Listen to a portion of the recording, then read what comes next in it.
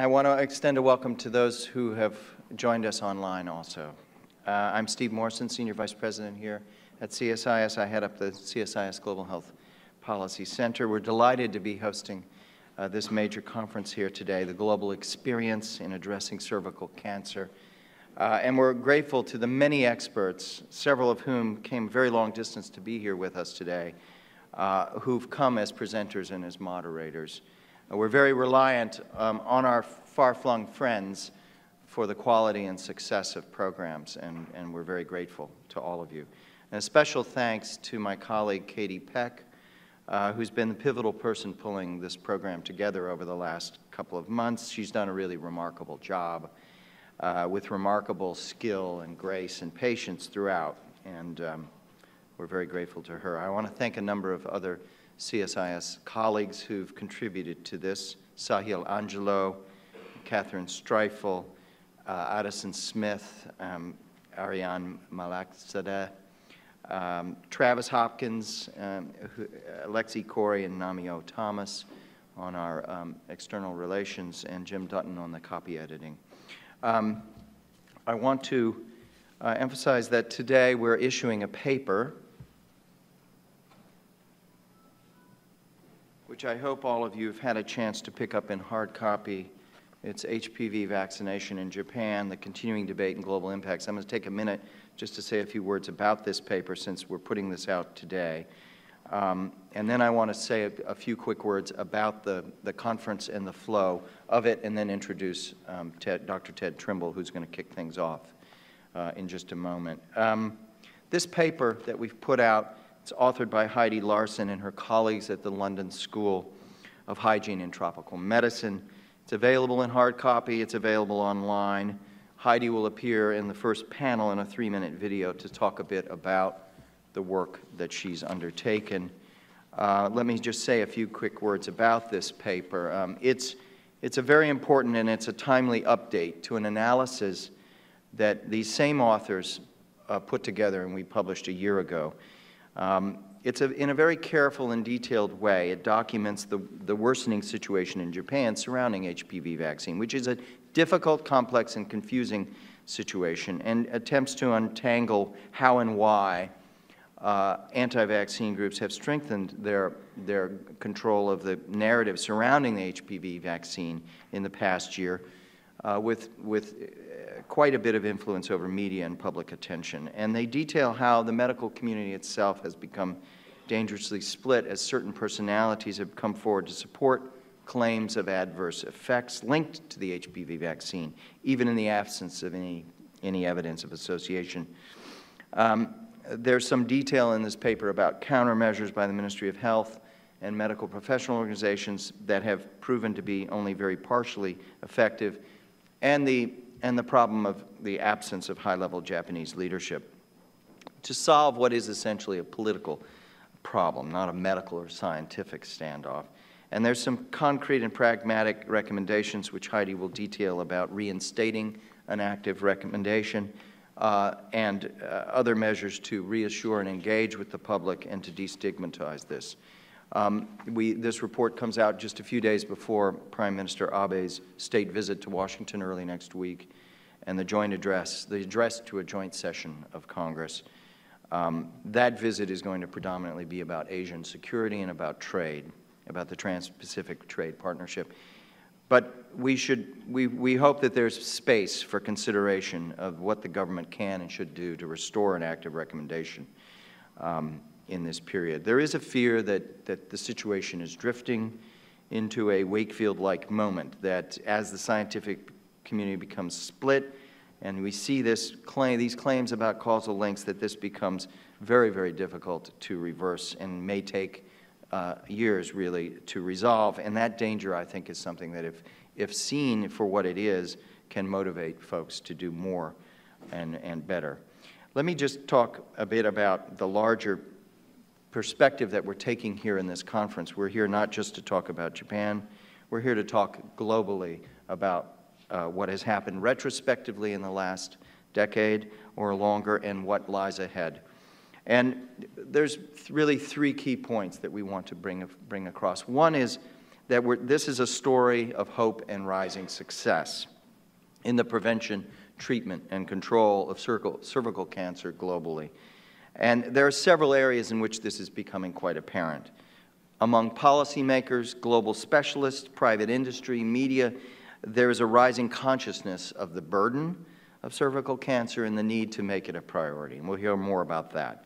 Second, related to that is that there are improved tools and continued evolving innovation. Uh, the HPV vaccine became available almost a decade ago in 2006. Six, innovations continue in screening, treatment, and care. We'll hear a great deal about that, including the, the Pink Ribbon, Red Ribbon initiative at the Bush Presidential Center. There's greater evidence of impact. Our data has improved. Some countries, we'll hear about the UK, Australia, Rwanda, Botswana, have shown, have demonstrated remarkable progress and determination. Second big point is that this is a story of continued uh, struggle and controversy. Um, it is without, not without some significant barriers that we need to acknowledge and think about. Here in the United States, uptake among girls and young women, adolescent girls and young women remain uh, at a 32 or 33 percent level, 7 percent among boys. As recounted in the U.S. presidential study issued in early 2014, a little over a year ago, those low numbers stem from a number of factors, from physician reluctance, from misinformation, from a misalignment of systems. Uh, and it's important to continue to remind ourselves of, of the need to move ahead uh, uh, in, our, in our own domestic setting here in the United States to remedy these problems. Um, sometimes, and I think this is true here in the United States and elsewhere, it's, it's difficult to identify who owns, who in our government or who in multilateral institutions truly owns uh, the issue of cervical, cervical cancer. There's a certain level of fragmentation around this and that people struggle with. Another factor is that by definition, adolescent girls and young women are a weak constituency and the impacts of not receiving adequate prevention, timely screening, and treatment are often not manifest for very long periods of time. So accountability has been a problem, uh, this, drawing a connection between timely uh, interventions and the health impacts. Um, these, are, these are barriers that we'll hear more about today. In low and middle income countries, we know that there's continued questions about capacity, institutional capacity, human capacity, financing, prioritization, questions around costs, access, and equity, and we'll hear about those. Um, then, of course, because vaccines figure so prominently, there are issues around trust, confidence, hesitation that are very much specific to the cultures and societies and norms around sexuality that come into play that require a very sophisticated and grounded um, understanding of the situation, each situation we're dealing with. The third thing that we're trying to do is, is look ahead and ask where does this leave us and what's, what's, the, uh, what's the future going to look like. There's much progress to celebrate. There's much unfinished business that we want to mobilize around. And that's how we're going to proceed today. So we're going to begin with Dr. Ted Trimble, Director of the National Cancer Institute for Global Health, who's going to come and over the course of uh, 20 to 30 minutes walk us through the big picture. And we've asked him to really do that scene setter for us uh, in a brisk but fairly comprehensive way. Uh, we're not going to have a discussion uh, around this. We're going to get that data up, and then we'll move to our first panel that Sally Cowell, Ambassador Sally Cowell, will be, will be uh, moderating, which is looking at the country experiences of advanced and, and evolving and emerging economies. We have a, a, an incredible array of, of speakers for that. Dr. David Salisbury from Chatham House, Dr. Aki Saito from Niigata University in Tokyo, Dr. John Andrus of Sabin Institute, and Dr. Melinda Wharton from CDC.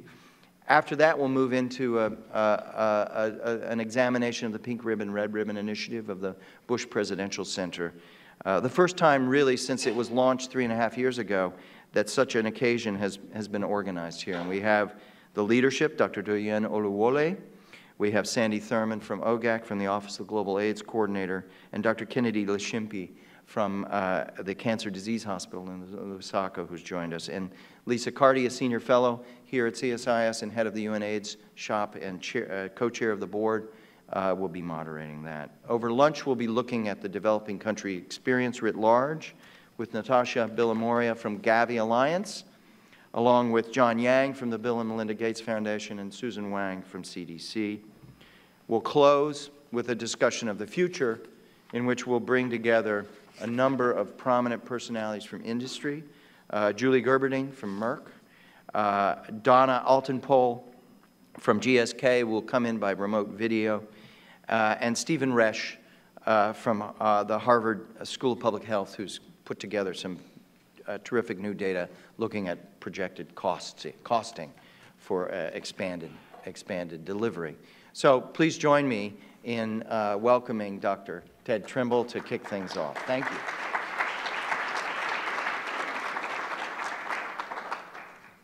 Thank you very much, Steve. Um, I should start by saying my training is in obstetrics and gynecology and gynecologic cancer. Um, and so I've screened many women for cervical cancer. I've treated women with cervical cancer with both surgery and radiation. And I've, I've kind of held the hand of, of women um, with term, terminally ill from cervical cancer, trying to help them die in, in, in dignity. So the fact that we um, now have so many interventions for cervical cancer is, is um, a mark of, I mean, a sign of hope for me.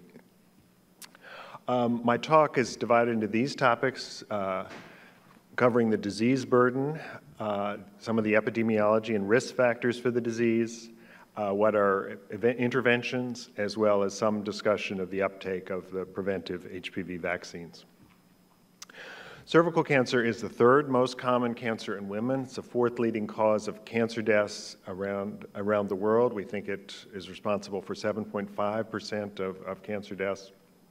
And it may affect as many as 1% of women around the world if you look uh, by age uh, 75. According to the estimates from the WHO's International Agency for Research on Cancer, uh, in 2012, there were more than 500,000 new cases and more than 250,000 deaths.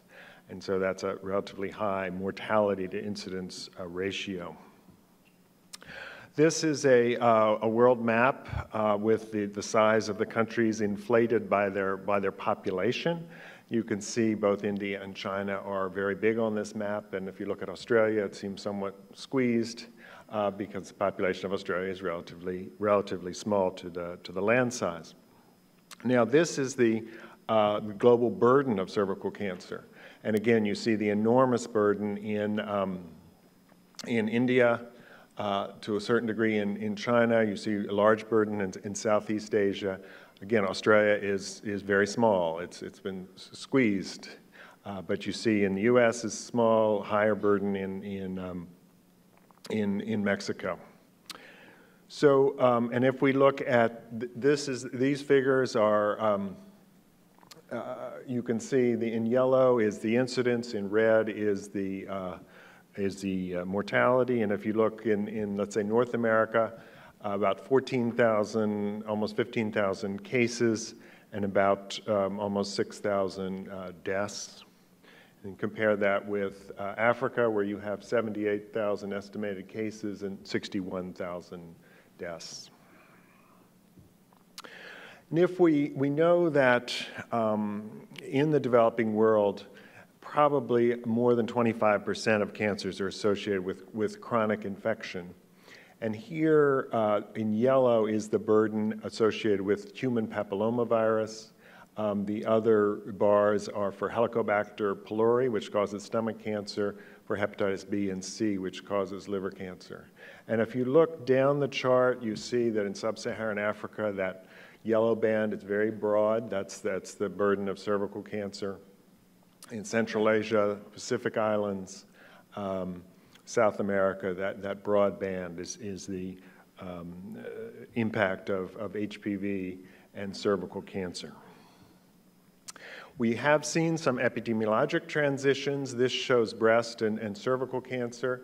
You see four countries, Australia, China, Colombia, and Uganda.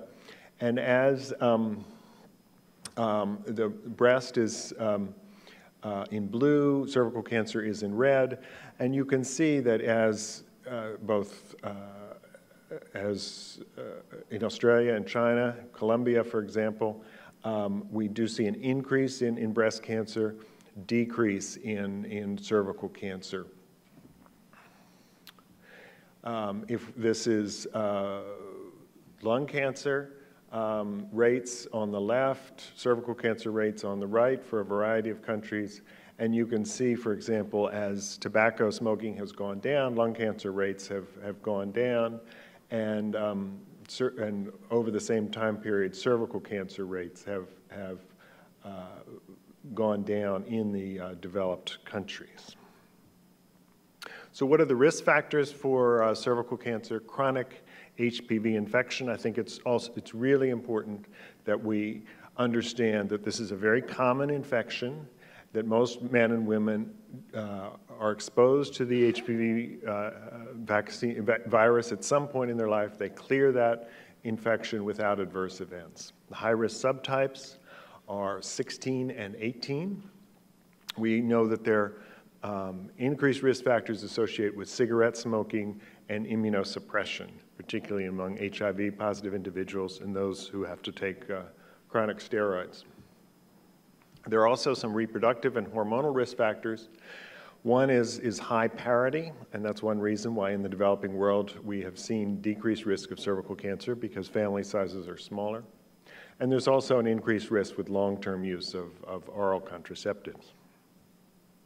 So in terms of interventions, today, as Steve mentioned, we can treat HPV infection, we can screen for and treat pre-invasive disease before it can progress to cancer, we can treat locally invasive cancer, and we can treat the symptoms of, of progressive and metastatic cancer.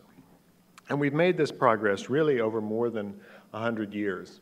I like to start the, the story with, um, with this slide um, from uh, highlighting the contribution of Friedrich Sertürner, who was a German pharmacist, and he was the first person to isolate morphine.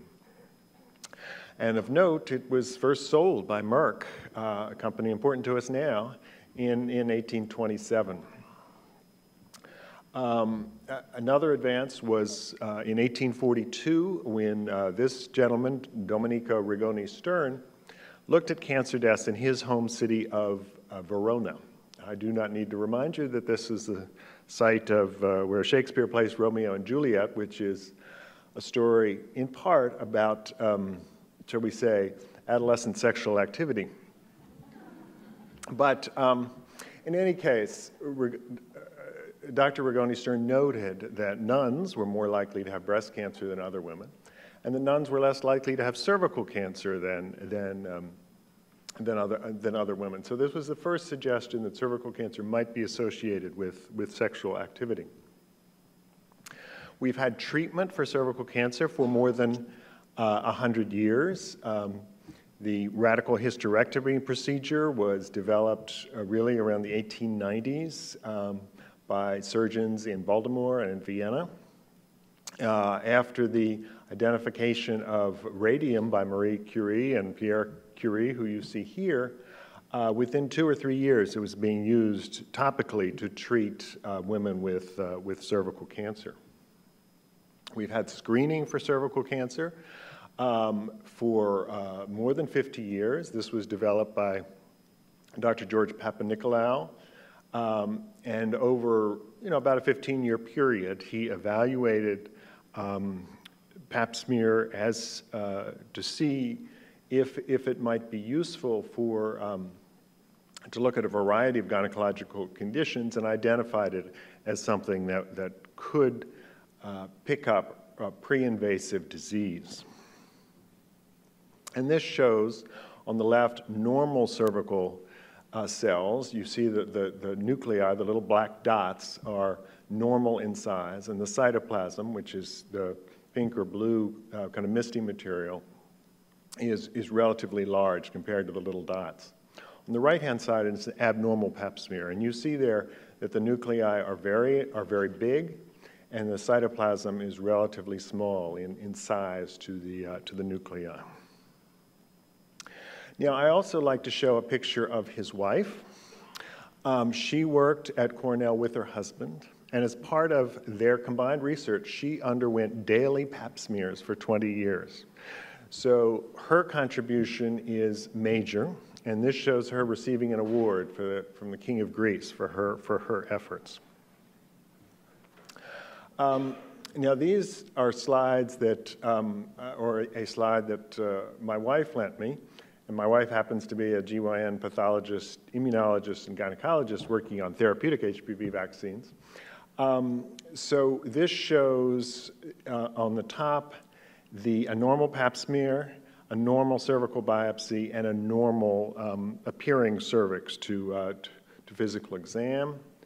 After HPV infection, uh, we see changes in the cervix, both in the pap smear on top, in the um, uh, cells in the cervix in the middle, and then in the, the visual exam in, in the center. And then this is invasive cervical cancer all the way over on the right, uh, with grossly abnormal cells in the pap smear on top, uh, evidence of invasive disease in the center, and a very abnormal uh, cervix to, uh, to, to phys in physical appearance. So treatment of invasive disease, we've learned that if we destroy or remove the abnormal cells, we can use a variety of techniques for that. Uh, we basically take out the small portion of, of the cervix, which you see here um, out, outlined um, at, the, uh, at, at the bottom. Surgical treatment of invasive disease, for early stage disease, a uh, hysterectomy it will generally suffice for a radical hysterectomy is done for slightly more advanced uh, disease. We've learned about external radiation for, for invasive disease combined with uh, intracavitary radiation. Um, this is a, uh, it's not a short treatment. External beam is generally given uh, for four to six weeks, and the internal uh, radiation uh, can be over uh, as short as, as 24 hours or, or as several um, out, outpatient doses. Another advance, I think, has been the development of effective hospice care, and here I like to show the side of Dame Cecilia Saunders, who really um, helped us as a global community understand the importance of effective palliative care and linking that palliative care um, in the hospital to the hospice and, and, and in, the, in the home. So combined with combining her efforts as well as the fact that we had morphine means that we can take good care of, of patients who are dying from cancer now. The um, causative agent, namely human papillomavirus, was identified um, by uh, Harold zur Hausen. Uh, in 1976, he published his hypothesis that HPV causes cervical cancer. He started then to identify some of the different subtypes, including HPV-6, HPV-16, HPV-18, and as most of you know, in, in 2008, he was awarded the Nobel Prize for, for these efforts. And after we identified HPV as a causative agent, we could then study the molecular biology of cancer and learn that, uh, in fact, this, a, this virus caused a variety of diseases. Cervix was, was one and the most uh, important numerically, but it's also responsible for anal cancer or many anal cancers, for some uh, vaginal and vulvar cancers, some penile cancers, some cancers of the uh, oropharynx as well. And this slide uh, shows, uh, similar to one I showed earlier, but it shows the um, worldwide incidence of cancers attributable to infective agents. So that includes stomach cancer, includes cervical cancer, includes liver cancer.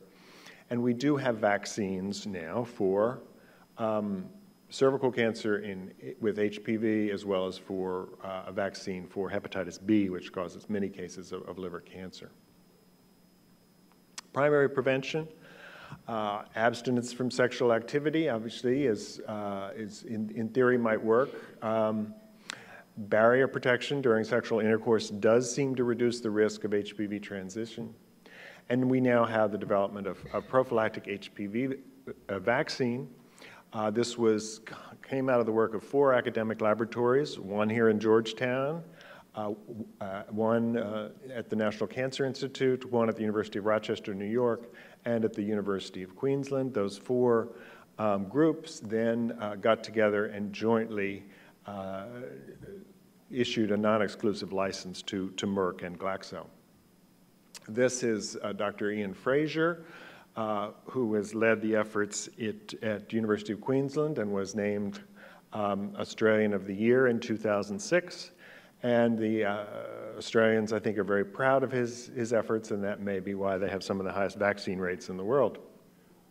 This is our colleagues uh, Doug Lowy and John Schiller. Uh, Doug is now our acting uh, director of the NCI, and they, uh, in December, were given the U.S. National Medal of Technology and Innovation by President Obama for their, their work in developing the um, HPV vaccine. This shows you what the vaccine looks like. It's what's called an empty viral capsid. It's con constructed of the L1 protein, um, so the, the bad DNA, which is normally inside the capsid, is entirely missing. Uh, it's very uh, efficacious in terms of reducing infection. It's given in, uh, currently, the recommendations are to give it in three doses over six months and before the onset of sexual activity. Uh, so this is, um, shows you the quadrivalent vaccine, uh, which is called Gardasil, made by Merck, uh, contains four different of these virus-like uh, particles uh, for HPV 16, 18, 6, and 11. The bivalent called Cervarix, made by Glaxo, um, contains a mixture of two of the, uh, the 16 and 18. Uh, as Steve mentioned, uh, the U.S. FDA approved Gardasil in 2006 and Cervarix in 2009. Uh, vaccination in this country, vaccination is recommended for boys and girls by the American Committee on Immunization Practice. It's been recommended by the WHO Strategic Advisory Group on Immunization, and it's been recommended by the Global Alliance for, for Vaccines and Immunizations. Uh, there have been extensive post-licensure safety surveillance in, in, the United States um, and in uh, around the world uh, reported from, from both Merck and, and Glaxo. What are some of the challenges? Uh, in the developed world, the cost is, is, is a challenge. It's, it's uh, $150 a dose for, uh, for three doses plus the administration costs. In addition, we, we have not had until recently uh, vaccines appropriate for adolescents, so, so we've had to build those, um, those, that infrastructure. There have been a number of studies looking at school-based approaches or clinic-based approaches. We do have some other adolescent vaccines, particularly for tetanus, whooping cough, meningococcus, so, so we do have other vaccines now we want to give uh, children at this age. And as we'll hear about today, societal and, and parental acceptance of the vaccine has been a, a challenge in, in some settings. This shows the variable uptake for the HPV vaccine. The red is the um, girls who've, who've, gotten one dose. Uh, the blue is um, girls who've gotten three doses. And you can see we have very high rates in the United Kingdom. Um, and there they are using a school-based approach high rates in Australia, similarly a school-based approach. Um, in United States, we have lower rates, um, and we are using a, a clinic-based approach. France is also using a, a clinic-based approach. If one looks at the trends in vaccination rates, you see that we are still uh, behind compared to the other vaccines that are appropriate for this age.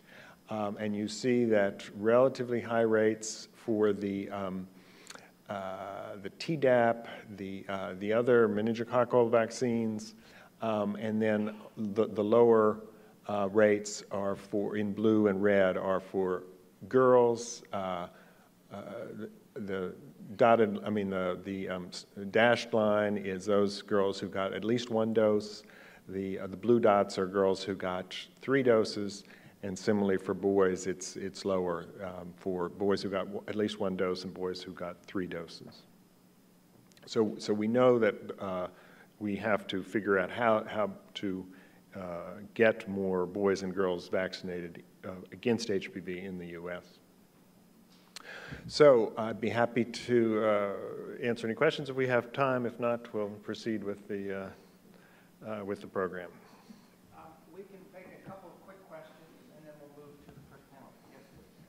identify yourself, please. There's, there's a microphone here. And Uh, good morning, ladies and gentlemen. My name is Rosemary Seger. I'm president of an organization called Hope for Tomorrow. Thank you so much, Doctor, for your wonderful explanation. I come, I'm based here in you in Washington D.C., and I come from Kenya.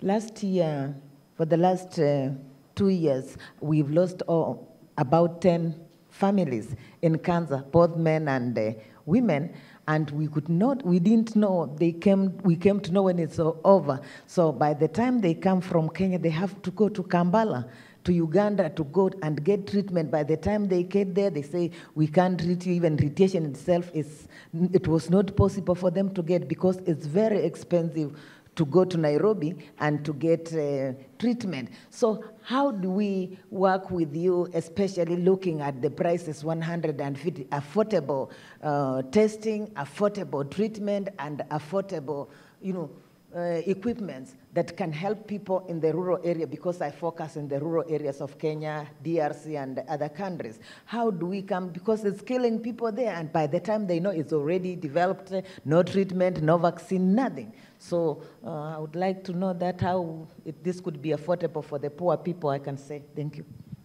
Well, that, that's, a, that's a great question. Um, we are, are working closely with a number of partners in Kenya. Um, we, last year, we did organize a cancer stakeholders meeting in Kenya, bringing together the Ministry of Health and the um, KEMRI and the US CDC, the various US universities working in, in Kenya, to try to think about cancer control and try to figure out how we could um, help uh, Kenya set up a, uh, an cervical cancer screening, help improve access to treatment. Um, I know this is a challenge, particularly for radiation therapy. Um, the at Moi University in, in Eldoret, they, they have the bunkers built for radiation, but they have not been able to get the radiation unit in place.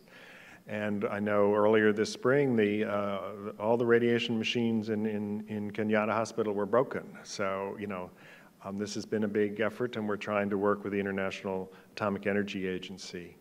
Um, but this one reason why we're having this meeting is, is to see how we can, as a global community, work to bring down the, the, the cost of HPV vaccines, and certainly Gavi has been very effective uh, or had a very effective partnership with Merck and Glaxo on this. I know the Gates Foundation is trying to um, improve the uh, or, or, um, infrastructure for um, other vac HPV vaccine manufacturer. We're trying to work, as I said, with the International Atomic Energy Agency uh, to improve uh, access to radiation therapy around the world.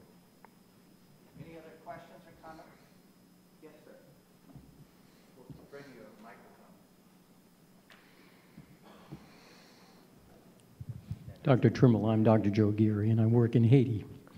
And I'm wondering if, is there some hint that one dose will pr uh, provide some immunity with the um, uh, bivalent vaccine? And also, is there a hint that giving the bivalent confers immunity against some of the other HPV viruses? Um, great questions. Um, there is good data um, you know, partic- I mean, from a number of studies, including the NCI work in, in Costa Rica, that two doses is as good as three doses. And, and the European Medicines Agency has a, um, approved uh, I think, for, for, for two doses.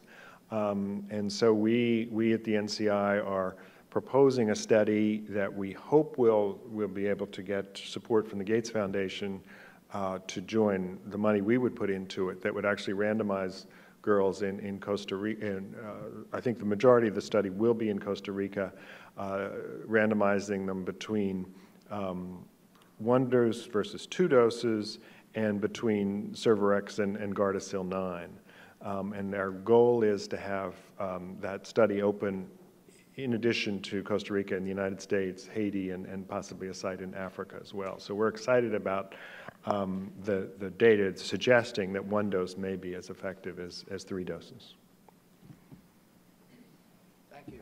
Thank you, Ted. That was really terrific. Uh, Ted will be with us over the course of the day, and so I hope we can pull you in on a number of other occasions over the course of the day. But please join me in thanking Ted. Uh, we're going to move right away into the first panel, so I'd like to ask uh, Ambassador Cowal, um, Aki, Melinda, John, and David to come forward. Uh, We'll, you, you can all just come right up here.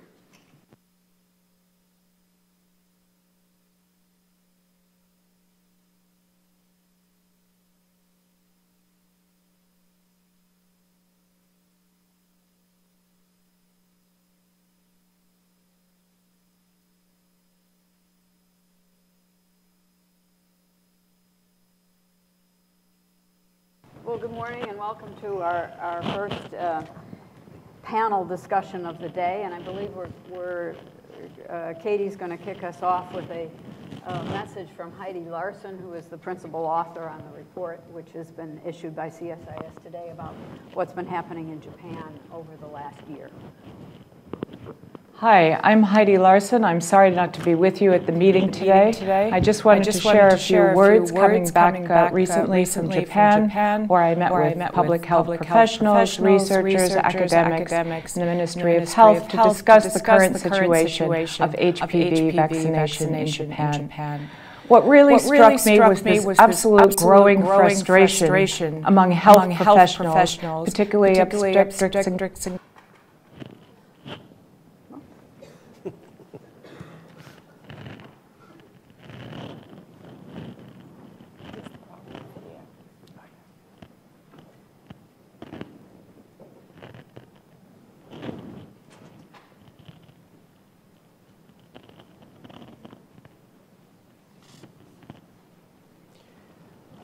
Hi, I'm Heidi Larson. I'm sorry not to be with you at the meeting today. I just wanted to share a few words coming back uh, recently from Japan, where I met where with public health professionals, researchers, academics, and the Ministry of Health to discuss the current situation of HPV vaccination in Japan.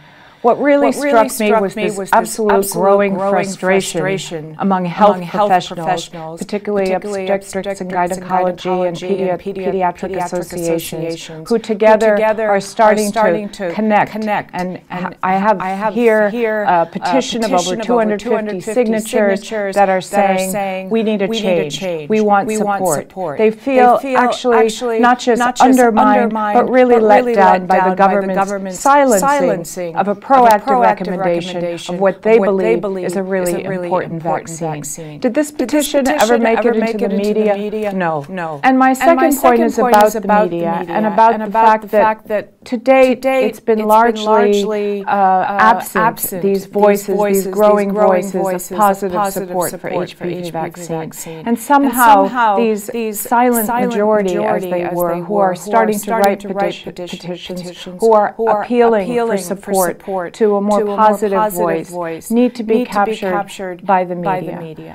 Um, how Um, can we how support, we that? support that? And the other And the other part of the media of the voice media voice is that it can that help it can build help a build a confidence, confidence for for political, political support. support. So the third So the point third is about is about high-level high-level political, political support, to this, support issue. to this issue. So, So we have the we health have the health professionals who are growing who and growing increasing and their positive their positive sentiment. sentiment. We need a media, need a media that listens that to a listens to a multiple, multiple chorus of chorus voices, of voices, including this emerging, this emerging choir and choir chorus, and of, chorus of, of- the positive, the health, positive health professionals and others. and others. And then the third And then the thing third is thing is high-level, high-level political, leadership political leadership that says that says that we support we this. support We this. give We people give the people choice. the choice. We are not going to silence, silence the proactive the proactive recommendation, recommendation, but you have a but choice. you have a choice. And we think this is we a think good this is thing a good if thing you want if it. you want it. And this is a this is a continuous cycle. There is no There is no single single solution solution to this to issue. this issue. It needs a It needs a multiplicity of voices of voices from high-level political political leadership, leadership, media media attention to multiple to multiple voices, voices, and and an engagement, an engagement of the of the existing, existing silent, majority silent majority who are indeed, who are indeed quite positive, quite positive about this about this vaccine. Thank you. Thank you.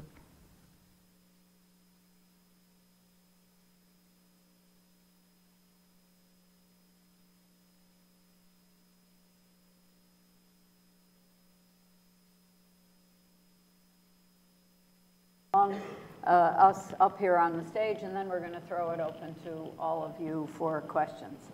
So I think we've already heard that today's event really comes at a critical time in the global fight against cervical cancer. Um, As you're well aware, and, and Dr. Trimble already told us this morning, It's one of the few uh, cancers that we know how to prevent it with vaccination. We know how to detect it early with tests like pap smears and also much more affordable tests like visual inspection with acetic acid and with HPV DNA testing. And when caught early, it's highly treatable. I listened to our colleague from Kenya and, and feel for these kinds of experiences because we know that in the United States, our five-year survival rate from cervical cancer is 91%. So highly treatable when caught early. And yet, as Ted told us, 266,000 women uh, lose their lives from cervical cancer every year, and 87% of them live in low and middle income countries.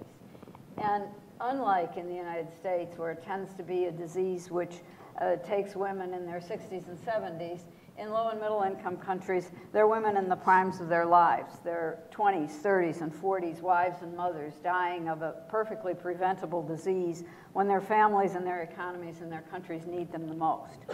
So I, I present my own bias out here. What I'm mainly interested in is low and middle income countries where the burden is the greatest.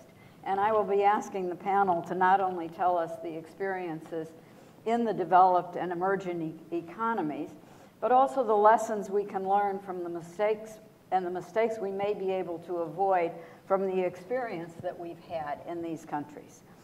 So we need action very urgently, and there's a tremendous amount to be learned from advanced and emerging countries which have not had significant resource constraints that we face in low and middle income countries. But that's not to say that we haven't faced obstacles in addressing cervical cancer. And our panelists will discuss this today.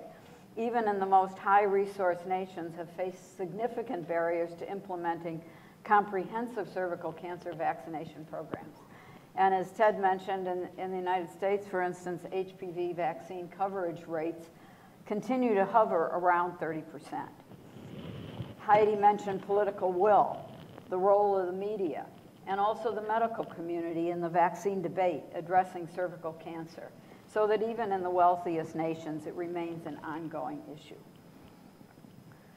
Advancing the fight against cervical cancer challenges us to develop programs that reach women across their life cycle and develop life-saving messages and campaigns that are relevant for adolescents, parents, educators, NGOs, and leaders at all levels of the health system. But by learning from experience in advanced economies, health advocates and officials in low and middle income countries can better understand the obstacles that'll have to be surmounted in the future to be successful. So our panelists this morning will share experiences from countries ranging from the US and the United Kingdom to Latin America, India, and Japan. What has worked, what has worked well, and what are the areas we need uh, to improve? My own organization, the American Cancer Society, has made cervical cancer our number one global priority.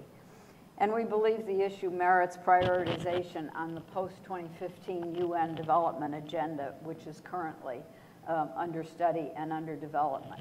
I think cervical cancer is very important for itself, for the mortality and morbidity that it, Uh, that it is presenting the world, but I also think it's tremendously important as a, a, a bridge between the communicable diseases and the non-communicable diseases, and the way we may get the global development community to inch its way toward doing more on non-communicable diseases. So I'm really looking forward to a, a robust discussion here this morning.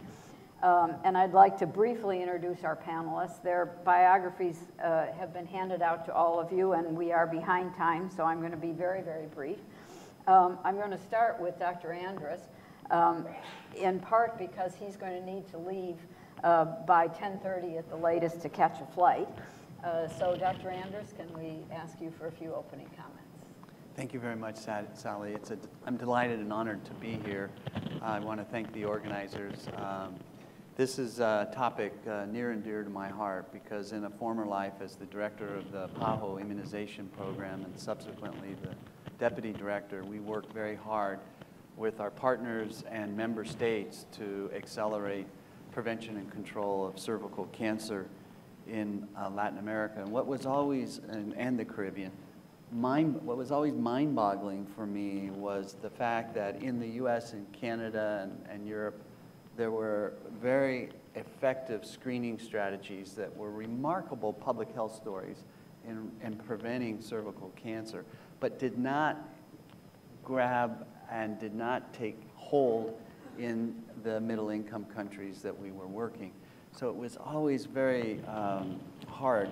Uh, so it was a godsend when the first vaccines became available, especially when we consider the disease burden.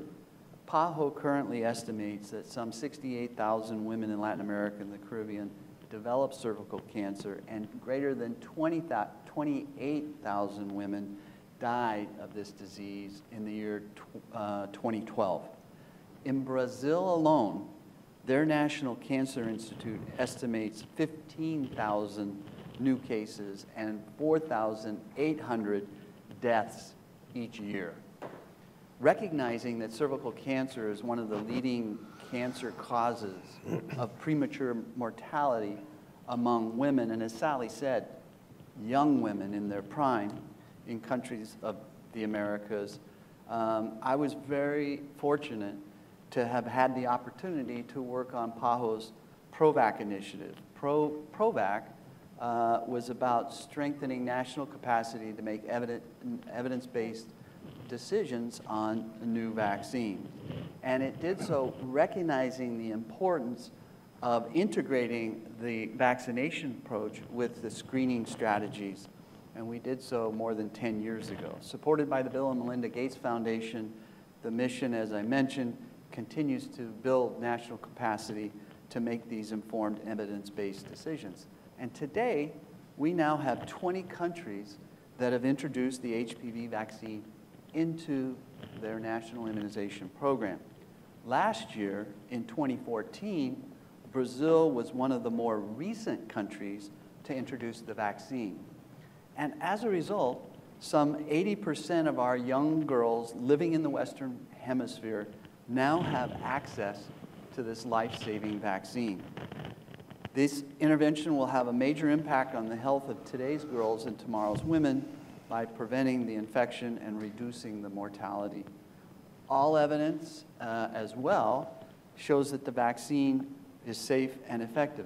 As Ted mentioned, currently the HPV vaccines that are available target the two HPV uh, uh, oncogenic types, 16 and 18, that cause about 70% of the cancer cases. The virus is transmitted by sexual contact, causing infections that over time evolve into cervical cancer. And these vaccines are highly effective in preventing the infections with the virus as long as they are administered before the onset of sexual activity. And so to that end, the WHO recommends the target group for vaccination to be girls 9 to 13 years of age who have not yet become sexually active.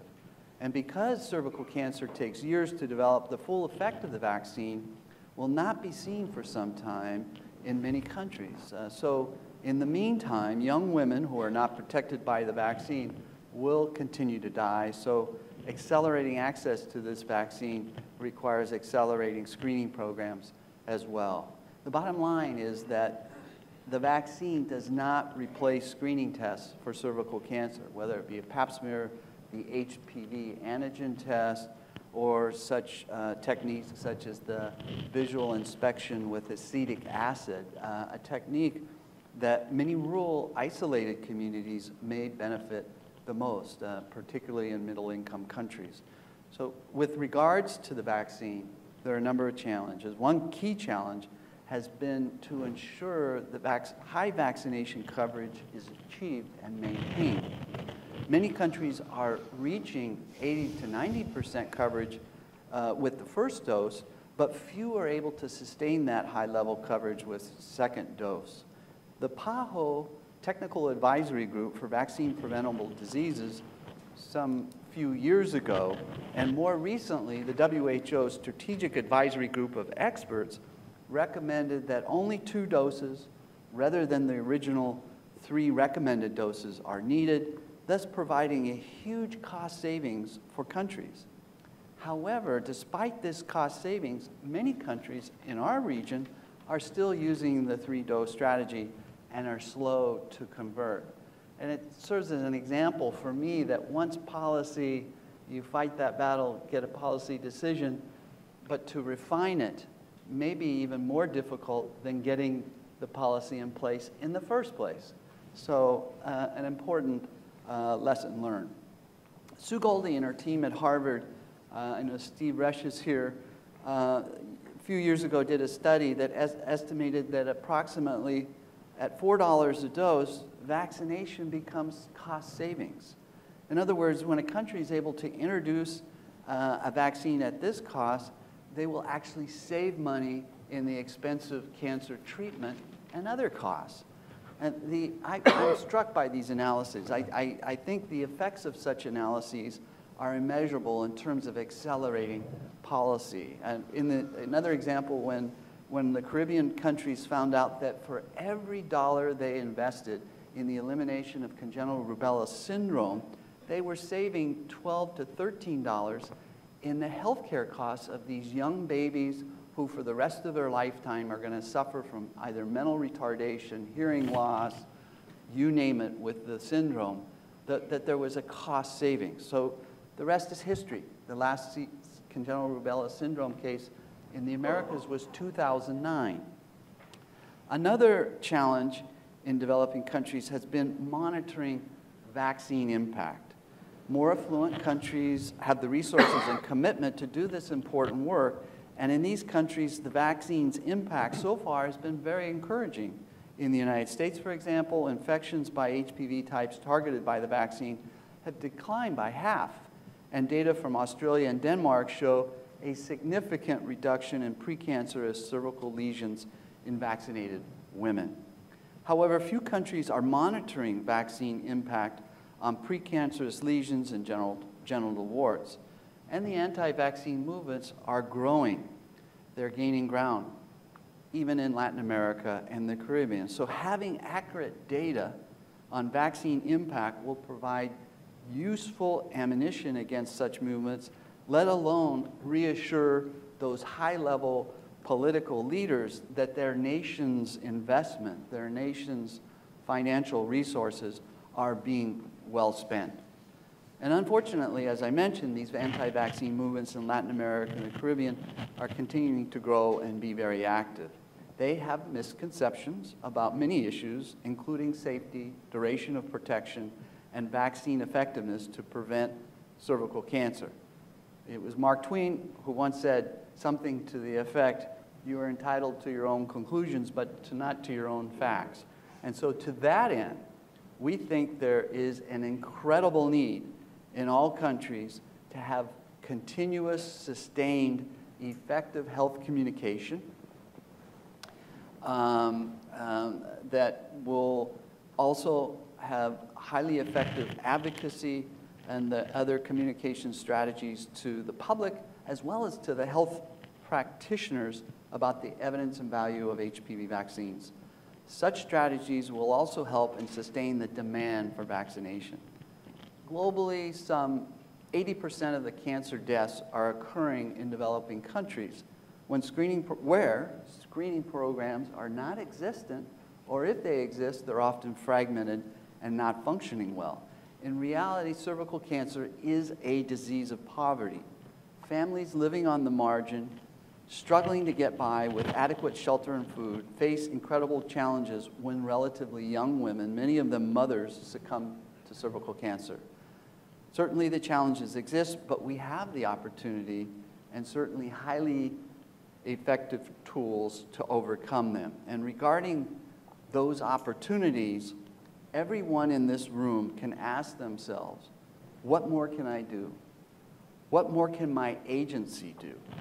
What more can we do working together to ensure those girls most in need are receiving the HPV vaccine and that appropriate strategies are also accessible to all women at appropriate ages.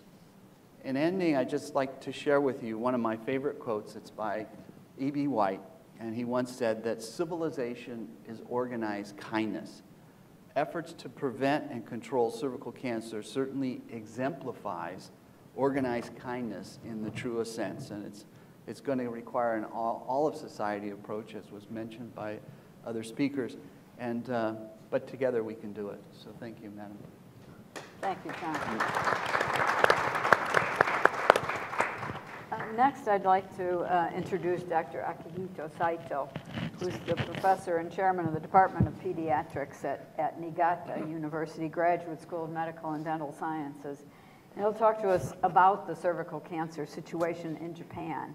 And I really thank him for, um, for coming all this way and also for putting himself on the spot in the, in the middle of a very controversial uh, season in his own country. So, Dr. Saito. Thank you very much, Sari. Uh, it's a pleasure to be here today, and thank you very much for giving me the opportunity uh, to be here. Uh, so I'm going to uh, briefly summarize what's going on in Japan, um, current HPV vaccine status and issues uh, which we have been facing. So this is the uh, immunization schedule um, recommended by Japan Pediatric Society. As you can see here, the orange is the vaccines included in NIP, National Immunization Program. And the green one is called uh, uh, voluntary vaccine, which the patients need to pay out of pocket. For the last uh, several years, uh, it has been improving. We call it vaccine gap, which means that uh, our immunization system uh, is not uh, well advanced compared to the one in other developed countries. However, well, the words are characters are a little bit small, but we have Hib vaccine, we have uh, pneumococcal conjugate vaccine, we have rotavirus vaccine, we, we have IPV vaccine, and at the end, uh, we have the uh, HPV vaccines. Yes. So um, we have the um, this is recommended at um, between 11 and 12 years old, and uh, it is included in NIP. So this vaccine, the HPV2, was introduced in December 2009. And the uh, government decided to provide temporal public funding, uh, which uh, uh helped uh, the the teenager to receive this vaccine without money out of pocket.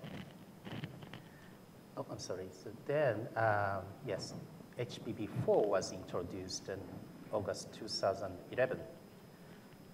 And um, after the introduction of HPV2, four years later, both vaccines were introduced into the National Immunization Program. It was very successful. And uh, however, uh, things happened, and uh, we'll tell you more. Uh, the next slide. The uh, active recommendation was suspended in 2003 uh, in June, which was two months after the introduction into the um, national immunization program. So let me tell you what happened, why suspended. Um, active recommendation was suspended from the patient side and government side.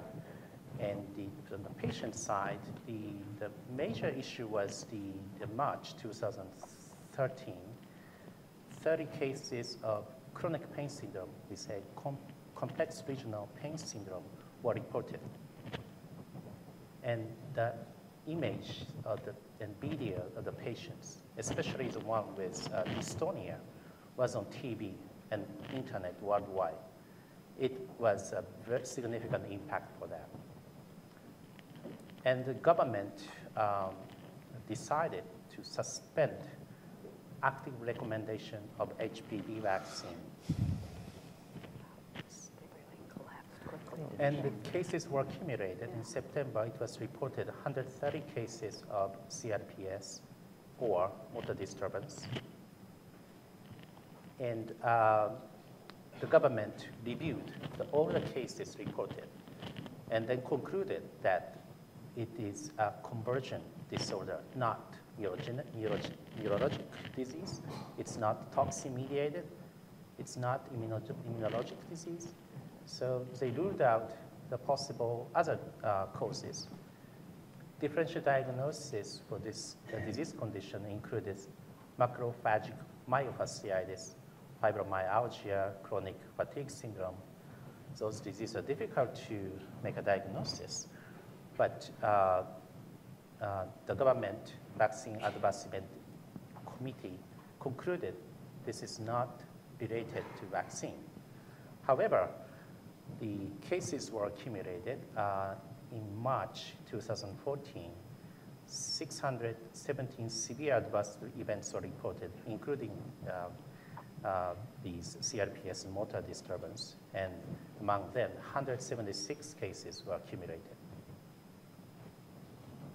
And in August, uh, still under the suspension, uh, the government decided to establish a medical system to support those patients suffering from the uh, diseases, and also made an easier reporting system uh, for patients.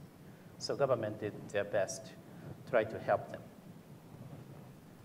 So far, uh, including mild cases, severe cases, related, unrelated, total of uh, more than 2,500 cases are currently investigated. And as of uh, today, uh, active recommendation of HPV vaccine has been suspended. So this is the kind of summary what's going on in Japan right now. Thank you, Dr. Saito. We'll get to some questions about that, I'm sure, both from myself and other panel members. I'd like now to turn to Dr. David Salisbury, um, who is the uh, Director of Immunization at the Department of Health in the United Kingdom, who will talk about some real success stories in the United Kingdom and Australia. UK. Sorry, can I do them myself? Thanks. Thank you very much. Uh, what I do need to know is how to get onto the presentation. Uh, to left. Uh, I'm not doing anything.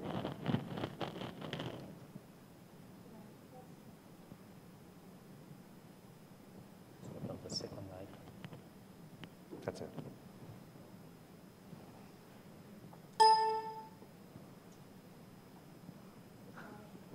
You can go to full screen, then I can. Hi, I'm. Okay, okay, we're nearly there. No. Can we go back, please? You've already seen the presentation about twice. Okay, well, um, it's my pleasure to be here, um, and in the space of a few minutes, I will try and fly through some of the key elements of the UK immunization program uh, that I believe have uh, led to its, its uh, success. Um, the uh, background to all of this is that the program started in 2008-9, um, and the immunization is free for all females less than 18 years. The program is provided in schools, apart from the very initial catch-up program uh, for the oldest girls who were out of school but under the age of 18, and they were vaccinated in primary care. But after that part of the program finished, all of the HPV vaccination is provided in schools. The immunizations are provided by teams of school nurses that visit the schools at prearranged dates, uh, and they're now twice a year, whereas previously they were uh, three times a year. The consent forms are sent uh, home with the girls in advance of the schools being visited. And the girls are, are asked to give the consent forms uh, to their parents, that they then uh, read the information and they complete the uh, consent forms and then bring them back to school, uh, and then that uh, authorizes the program to go ahead for that girl. Now, many of those consent forms are probably still in satchels or in pockets somewhere, uh, and a number of them are probably up in trees. Uh, but nevertheless, it's a very effective way uh, to get uh, coverage returns on uh, the girls.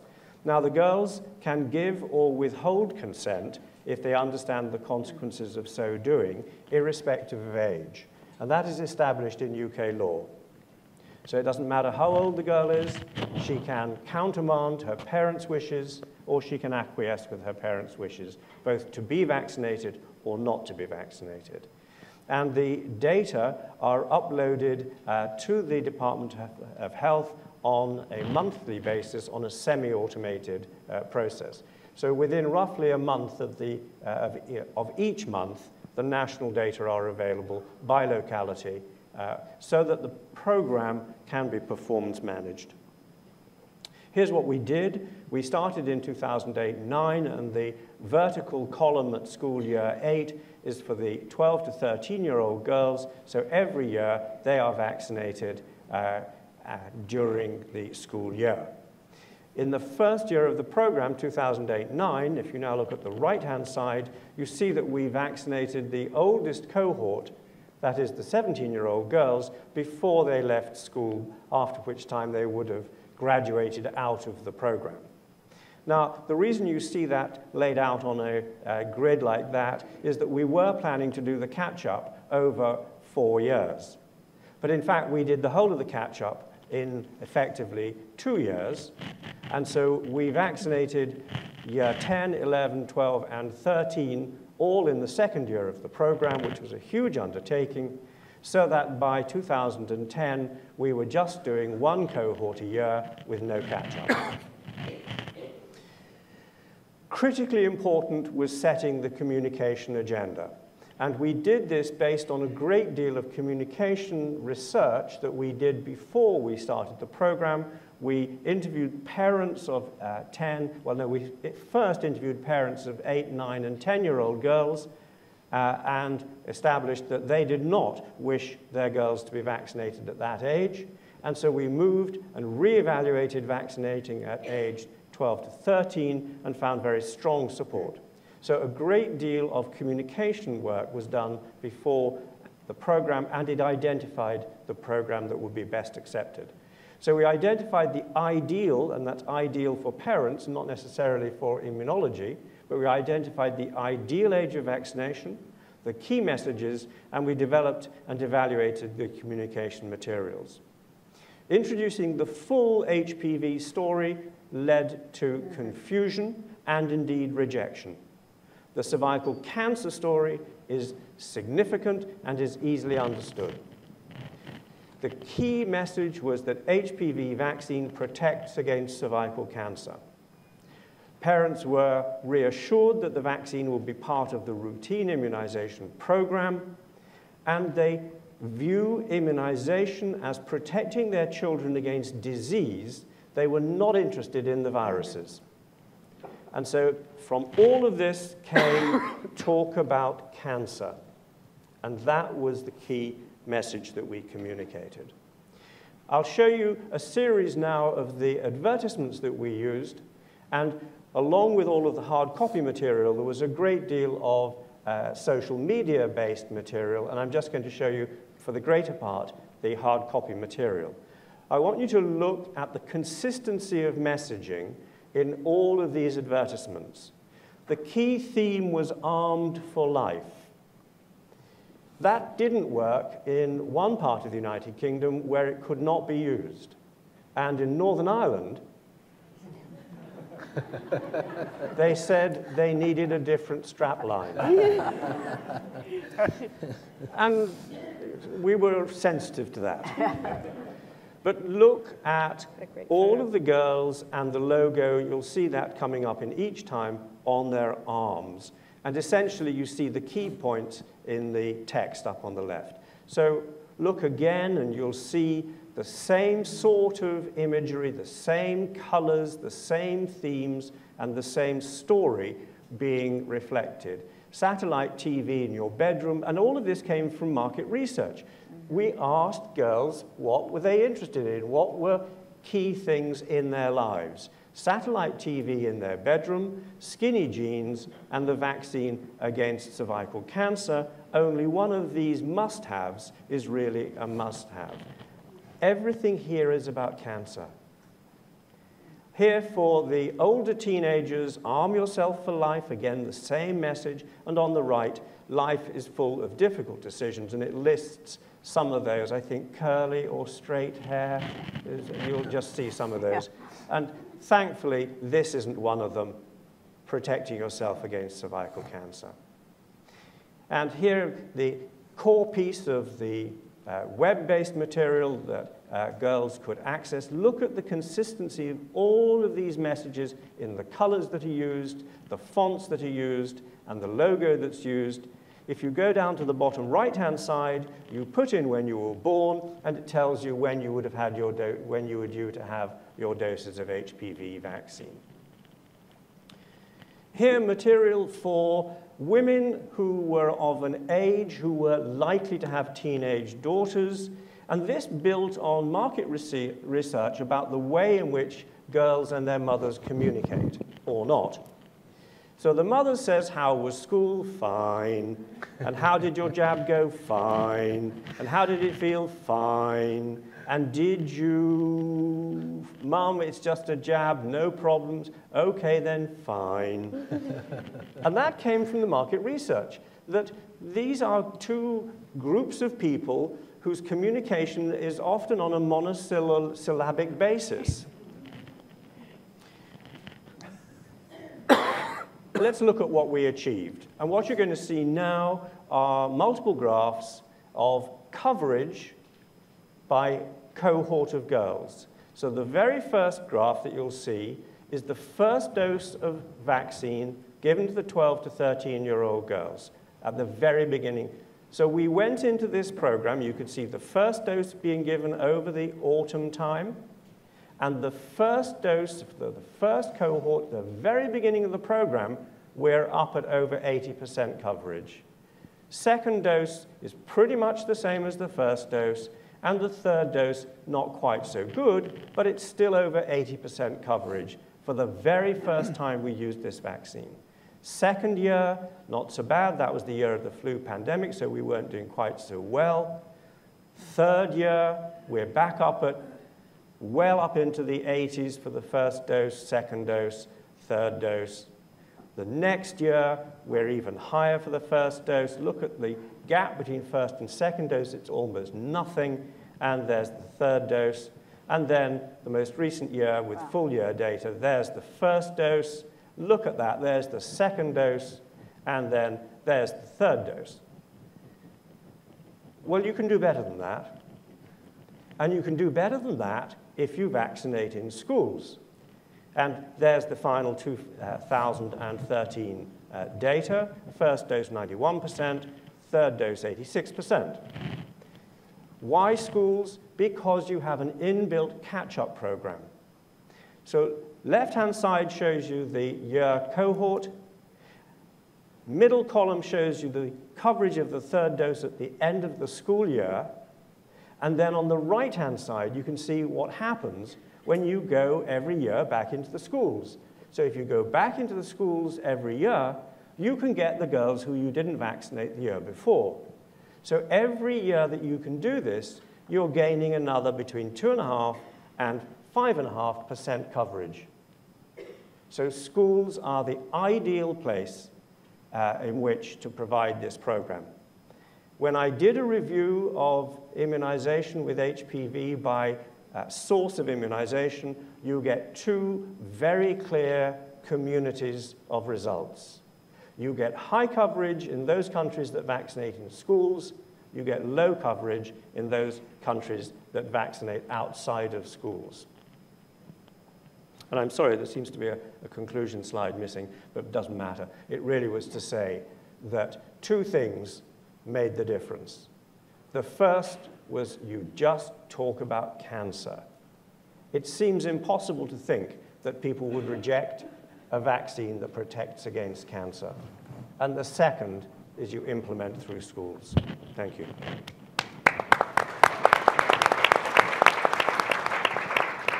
Thank you. Well, we've been um, all over the world. I know Dr. Andrus has to leave. I want to thank him for joining us this morning. Um, we've been all over the world. We've looked at places where it's been very difficult. We've looked at, at places such as the United Kingdom where it's worked very well and what are some of the lessons from that. Now I'd like to bring us back home and ask Dr. Melinda Wharton, who's the Director of Immunization Services Division at the National Center for Immunization and Respiratory Diseases at the Centers for Disease Control and Prevention, to talk um, about the U.S. experience. Dr. Wharton. Thank you, and I appreciate the invitation to be here, even if I do have to follow David Salisbury. Um, so, uh, in the United States, we don't have a national health system. We have a system for pediatric immunization that's based on uh, shared financing between the public and private sector. And uh, this, this system really goes back to uh, the early 1990s when the Vaccines for Children program was created, which provides federally purchased vaccine for children and families who don't have insurance or are on Medicaid, as well as a small number of other children. And, uh, and for families with insurance, even before the Affordable Care Act, insurance generally did a pretty good job of covering uh, childhood immunizations. Since the Affordable Care Act has passed and the provisions have been phased in, uh, it is even better. But between the two, the federal Vaccines for Children program and the, the private sector insurance programs, pediatric immunizations are generally covered. Uh, and so, we, so these financial issues of the cost of the vaccine uh, should not be a major problem in, in coverage in the United States, but it does complicate vaccine delivery. And uh, the fact that we don't have a single payer is one of the reasons why we are not able to do as, as well as a country with a national health system can in terms of school-based delivery. Uh, this whole issue about who pays really uh, is a big driver for us and, and somewhat of a limitation in terms of how vaccines are actually delivered.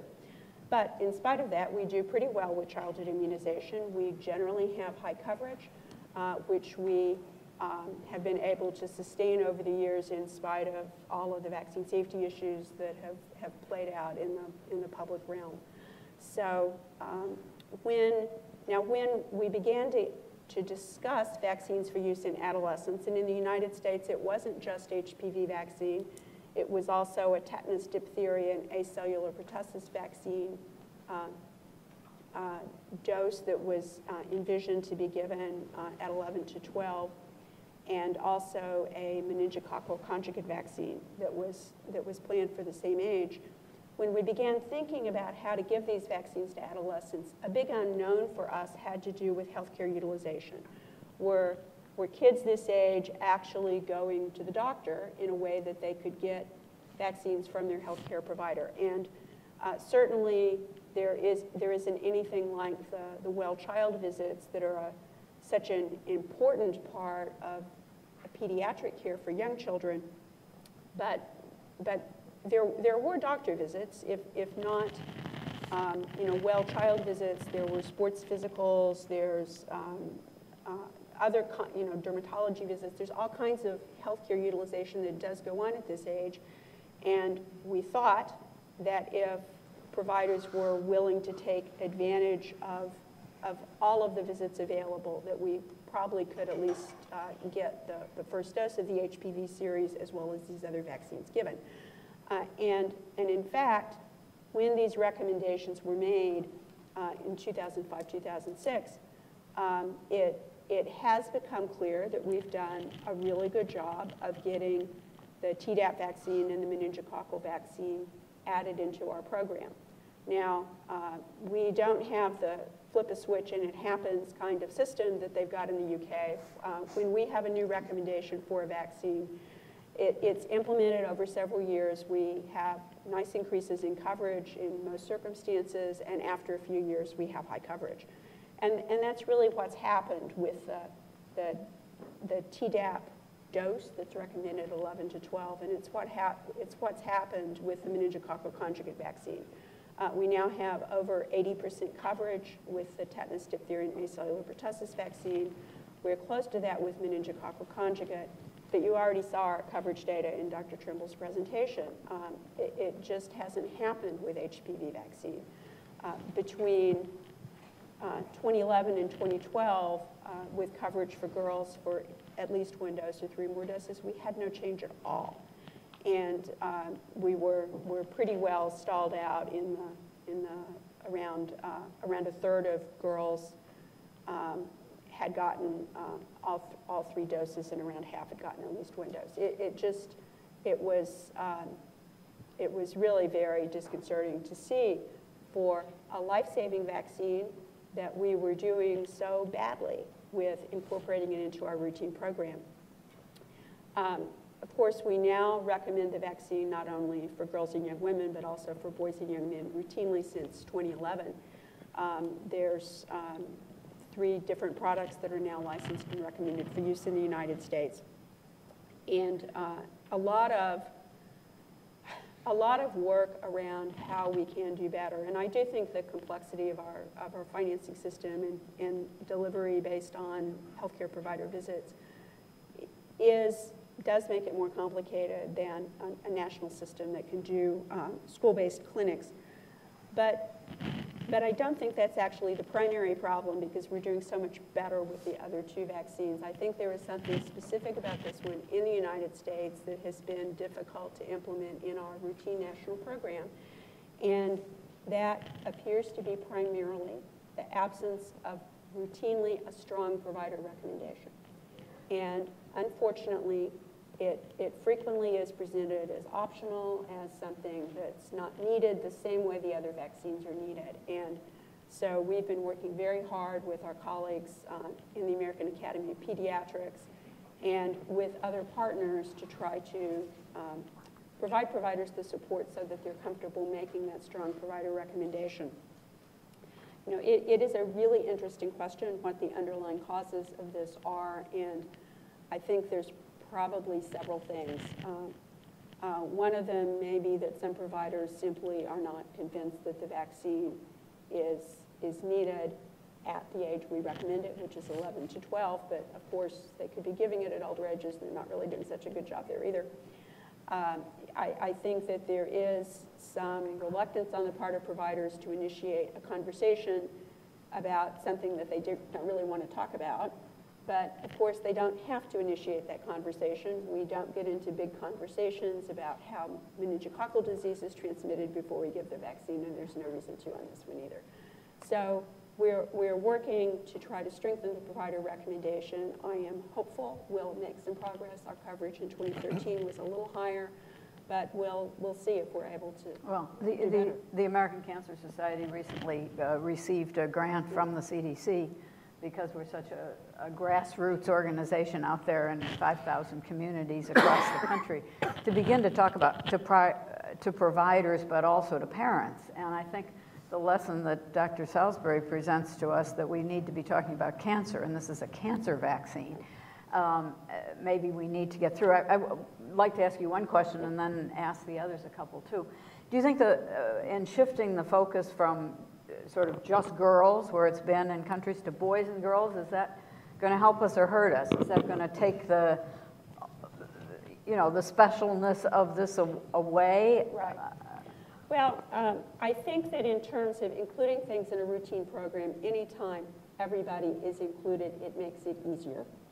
Uh, on the other hand, uh, it by broadening the cancer discussion beyond cervical cancer to cancer to the all of the HPV-related cancers generally, because they're less well known with boys, uh, I think that is a little bit more complicated, and certainly, certainly our communications focus has been on the cancer message. There's our we've got some wonderful advertisements that you know show a, a, a young young teen or preteen and and the, this, it is, if there were a vaccine against cancer, wouldn't you give it to your yeah. child?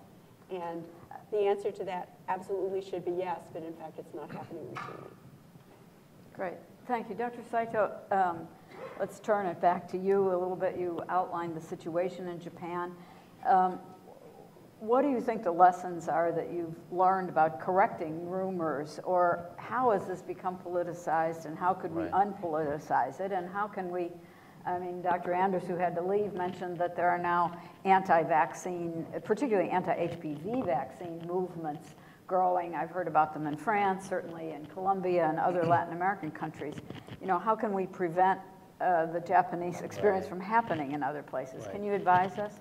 Sure. Um, before starting, I just want to um, to mention briefly about the background of the um, sensitivity to uh, vaccine adverse event and adverse reaction in Japan. As you may know that uh, historically, we had um, issues related to safety of vaccine including uh, MMR vaccine, uh, high incidence of aseptic meningitis caused by the uh, mumps uh, component of the vaccine. Uh, we had issue with the Japanese encephalitis vaccine. We had issue with simultaneous vaccination of Hib and pneumococcal conjugate vaccine. Uh, when the issue uh, happens, then the, those vaccines will uh, withdrawn from the schedule. And then um, we fight against it. So uh, basically, uh, uh, Japanese tend to be very sensitive to adverse reaction or adverse events of the vaccines. So um, um, for this aspect, um, um, we really have to uh, think the things uh, scientifically, uh, not emotion-based. Always we need a scientific-based evidence to see if, to determine whether this vaccine is meant to be continued or not. So that's kind of baseline background that you know uh, we have been always facing to the uh, adverse uh, reaction adverse events of the vaccine. The other things that we are currently facing is the, uh, the impact of media. Uh, as I uh, presented previously, we had the, um, the media presentation of the patient with dystonia and also pain syndrome after the vaccination. So um, Japanese media, some Japanese media um, uh, provide the, the, images and videos uh, without um, uh, proved evidence uh, or um, just from the one side of the aspect right. of the vaccine. Including mainstream media, correct? Yes. Right, right. So the, uh, the main one was the one which was uh, presented at the, the night national TV right. which was uh, enough to impact on the uh, influence the public opinion about the vaccination. So we really have, we really have to uh, watch on um, the media. Um, you know, we have, we always need to focus on the um, safety of the vaccine, but at the same time, we have, uh, uh, have to see the um, effect effectiveness of the vaccine, benefit of vaccine, that's also very important to recognize that. We have to also show the, uh, the, um, the, effectiveness of vaccines. Um, and also the last thing I really want to show is the leadership of the government with uh, uh, support by the academia. Um, the, I think they are not strong enough um, to determine the um, vaccine policy and actions uh, in Japan. Um, so uh, we really have to, the, the government also with academic support has to um, develop a better system to determine the vaccine policy and actions with science evidence, not by emotionally uh, derived. I have so many questions, but I want to uh, give Dr. Salisbury a, a, a, chance to make a comment here. Well, if I thank you, but two brief points. Uh, I understand that the Japanese uh, government in, tried to engage with the anti-HPV vaccine groups, not just from Japan, but on a wide basis. And I think that's a mistake. Um, I think that you should not give oxygen to these groups. By doing so, you give them legitimacy, you give them a presence, you give them an apparent authority, and uh, there is nothing that you will say that actually will persuade them anyway. And engaging was a mistake, and it was, would have been better not to engage. Equally, giving compensation, I think, was a mistake when the evidence that this was vaccine attributable did not exist. Um, the third and brief point was that I re recall taking a telephone call at 3 o'clock in the afternoon, one afternoon, to say that a girl had died in less than an hour after she had received her HPV vaccine in school. And that was 3 o'clock in the afternoon. By six o'clock, it was the lead story on the national news. We did not suspend the program. We did not withdraw the vaccine. We gave a statement to say that, of course, our sympathy was with the family, and we would not issue a further statement until we knew the cause of death, but that the program would continue. The next day, we had the result of the post mortem, and the girl had died of something entirely unrelated to her vaccination. And the program continued, and we did not at any point withdraw the vaccine or suspend the program, and we had no deleterious impact. Um, equally, during that first 24 hours, we agreed that no minister, no chief medical officer, I as director of the program, none of us would go on television or in the media until we knew the cause of death. Because we were going to be faced with the camera and the question, can you guarantee that the vaccine did not kill this girl? And that's like, have you stopped beating your wife? Because, have you? Uh, you, you see? don't you have a Fifth Amendment? which, which, we don't. but it was unanswerable. And until we knew the, knew the cause of death, we were going to hold our position and not put ourselves in a position of weakness. Thank you. No, th thank you. Before I open it to the floor, I'll ask just each of the panelists to comment briefly on, on one question, and that's uh, we saw in, in Ted's slide uh, Ian Frazer, the Australian, one of the uh, creators of an H HPV vaccine. And he was at the World Cancer Congress a few months ago in, in Melbourne, and he put the, the goal of uh, eliminating cervical cancer with HPV vaccines on par with polio eradication and showed um, how much money had gone into polio eradication, how much effort, how much world support, and compared it to the number of polio cases there were, and, and obviously a, a, our man from Sabin left, but a tremendous discovery, made a huge difference in, in health. Um, are HPV vaccines uh, that game changing, and are we ready to envision and commit really to an end game for cervical cancer? Um, Dr. Salisbury, let me start with you. Is the world ready for this fight? I'd like to think yes, and there are interesting parallels in that, you know, for every thousand people infected with polio, only one is paralyzed. Right. Similarly for HPV, for all those people infected, there are only a small number of cases of, of, of, of cancer. Uh, but that doesn't detract from the, the benefit of, of trying to stop transmission. I'd like to think that would be very exciting. And I'd, I'd, I'd, I'd be there voting for yes. Thank you. Dr. Ward. Uh, you know, I think that this is, there's such potential for uh, use of this vaccine in the countries that need it most that it would be wonderful if the vaccine could be utilized and, and really all the people of the world have those benefits. Saito? Yes, uh, I think I hope so. Um, um, it is a, a, wonderful concept that we can eliminate with vaccine. Um, uh, sub, cancer will be, uh, that, that is very uh, um, uh, great concept. But at the same time, um, the current vaccine does not cover 100% of genotypes, which causes mm -hmm. cancer. So we need, probably need a better uh, vaccine to cover more genotypes. Right.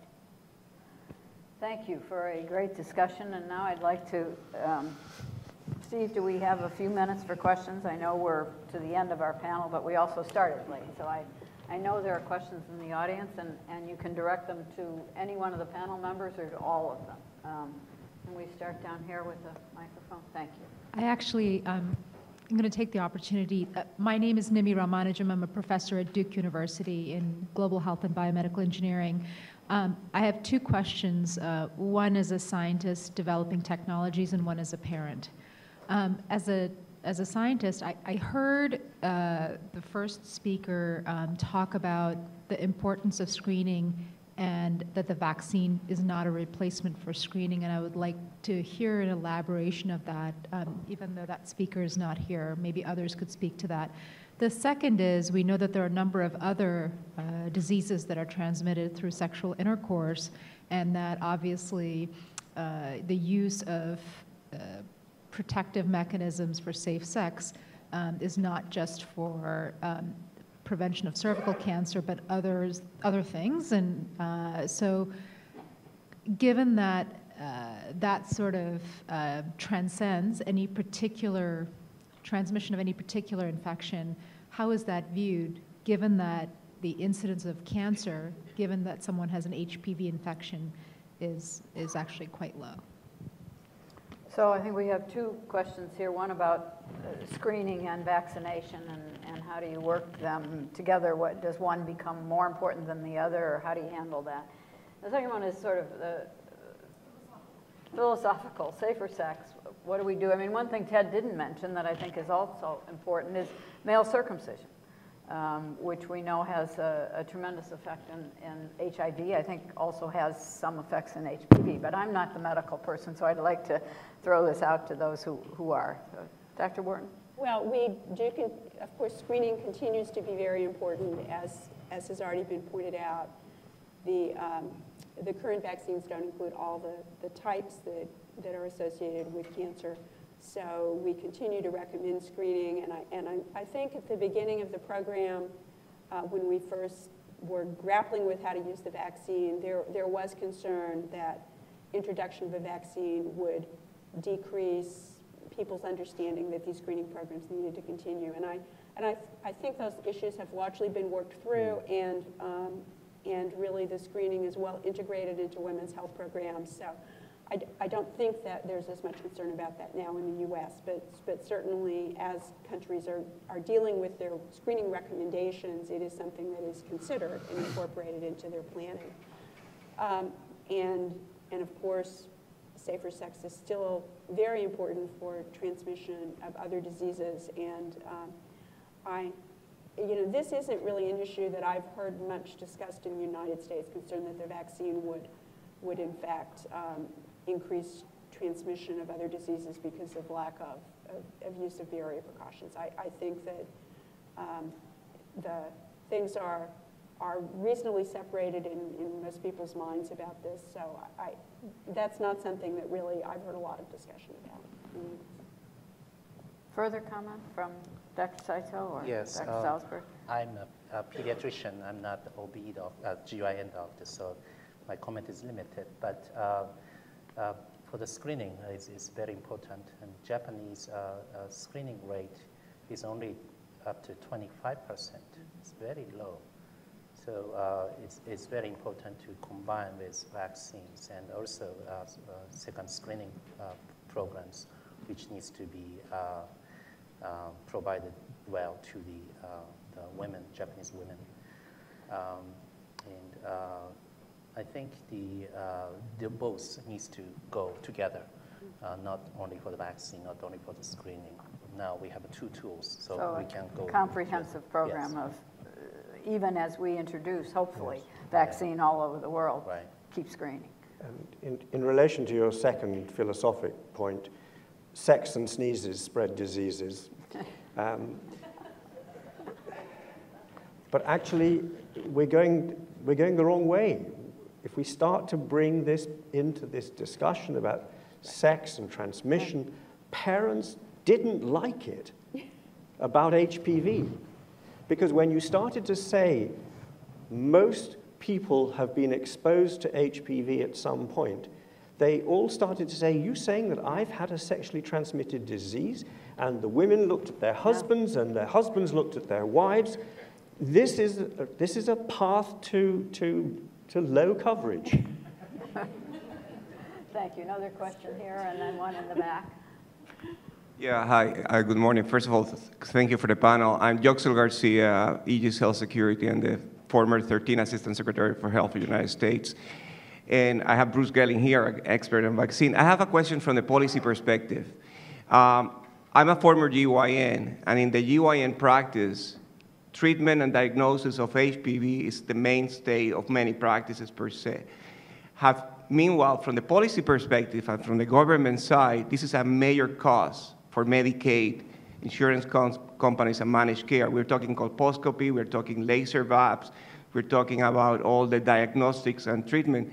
Have you actually looked at the cost benefit of HPV to be able to get the Medicaid here in the United States agencies and Medicare, which is the ultimate payer for this with the hysterectomy, and find out a way to connect that economic impact to policy implementation at whatever level you want, school systems, or actually at the local and state level? Uh, So in the United States, of course, we have done cost benefit and cost effectiveness analyses as part of our policy formulation. In terms of this specific question about the impact on Medicaid and Medicare spending, um, I, I don't know that the specific thing you're suggesting has been done, although I think it's worth us thinking through. Um, but we do have routine coverage through Medicaid for the vaccine up through age 18 through the Vaccines for Children program. So the ages at which the vaccine is routinely recommended, it is covered uh, through VFC for Medicaid children. Where we may have a, where we do have a gap in, in most states is with um, Medicaid is with coverage for um, uh, young women and young men from 19 to the upper age limit. And so I, your, your point is a good one, and I think we can think that through. Great, thank you. Question in the, in the back here. And I think we'll take one more after this one. Hello, great panel. Um, I'm Nancy Harris from John Snow Inc. Um, I, we pride ourselves on being evidence-based, and often it's evidence-based about the vaccine. But, and I realize that the U.S. is a very complicated health system, um, and I don't know much about Japan, but uh, this is sort of a challenge to our American and Japanese uh, college uh, colleagues in public health. We have very clear evidence that school-based vaccinations work. Very, very clear.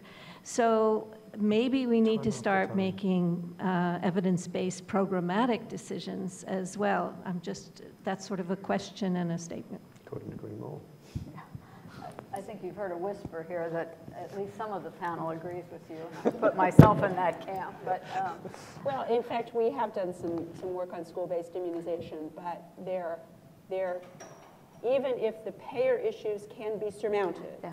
there are issues around, um, there are issues around lack of infrastructure delivery in our schools, uh, and even if that can be addressed, there are issues around the piece of paper in the backpack.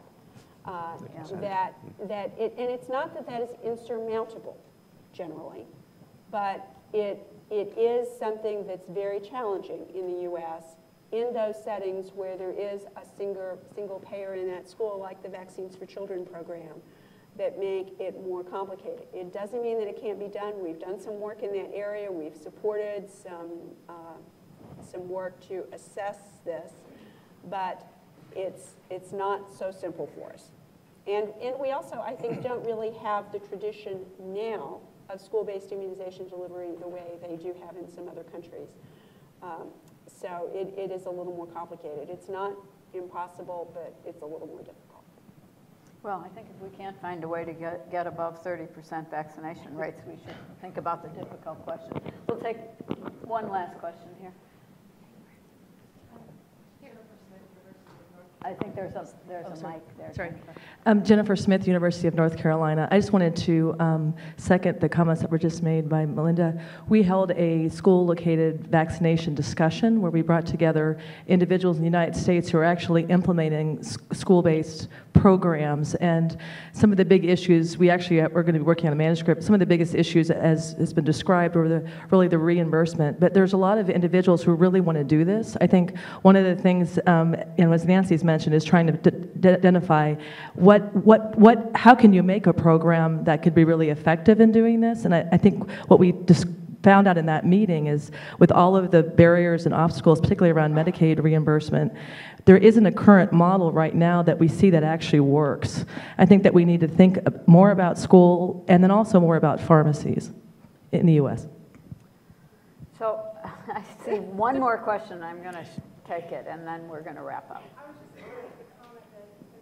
It's a comment, not a question. Well, yeah, because it's very related to the school-based vaccination, vaccination programs. I have an 11 and a 13-year-old daughter, and actually the other two vaccines that are recommended for adolescent girls, um, the schools prevent you from being in the athletic program if you don't have those vaccines. And the HPV vaccine wasn't even mentioned on the list that I got from the school saying that it was necessary. So I did call the school up to find out why the HPV vaccine wasn't listed, and they basically didn't have the authority to, to say the kid can't play sports without the HPV vaccine because somehow they felt it wasn't relevant. But perhaps you don't have to give the vaccine in the school. Maybe they could just add a line that says your daughter is also of age to receive the HPV vaccine and you should have a conversation with your doctor. Because then at least you're stimulating the thinking around it and it's not just completely absent. So I would like to thank our panelists today for so thoughtfully sharing, thoughtfully and frankly sharing their thoughts on cervical cancer prevention and control, and also our audience for a robust discussion. And I think from this discussion it's clear that no matter the country, truly addressing cervical cancer is not for the faint of heart. Um, it requires persistence and funding and the will to save lives that we can and we should be saving. So I think the, the, they've all pledged to join us in the fight to do what's right for women throughout the globe, not just in their own countries. And it's my hope that we can achieve real and meaningful progress in this fight against cervical cancer, even in my lifetime. Thank you.